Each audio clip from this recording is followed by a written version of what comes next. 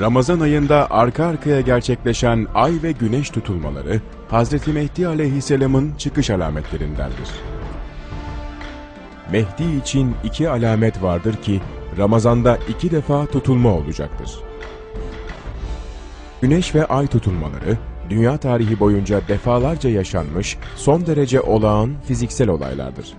Ancak bu rivayetlerde belirtilen şekilde bir tutulmanın olması pek rastlanan bir durum değildir.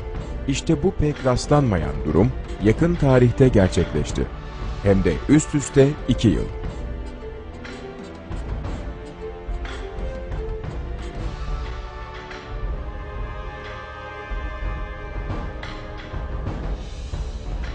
...1981 yılında yani Hicri 1401'de Ramazan ayının 15.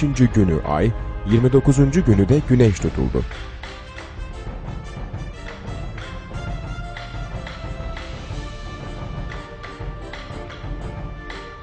...1982 yılında ise yani Hicri 1402'de Ramazan ayının 14. günü ay, 28. günü de güneş tutuldu. Bu olayların Hz. Mehdi'nin diğer çıkış alametleriyle aynı dönemde meydana gelmesi ve Hicri 14. yüzyıl başlarında arka arkaya iki yılda mucizevi bir tarzda tekrarlanması, Peygamber Efendimiz sallallahu aleyhi ve sellemin hadislerinde bildirdiği güneş ve ay tutulmalarının bu olaylar olduğunu göstermektedir. Üstelik hayret uyandıracak şekilde benzer bir tutulma olayı 2002 ve 2003 senelerinde de gerçekleşmiştir. 2002 yılında yani Hicri 1423'te Ramazan ayının ortasında ay, 15 gün sonra da güneş tutuldu. 2003 yılında ise yani Hicri 1424'te yine Ramazan ayının ortasında ay, 15 gün sonra da güneş tutuldu.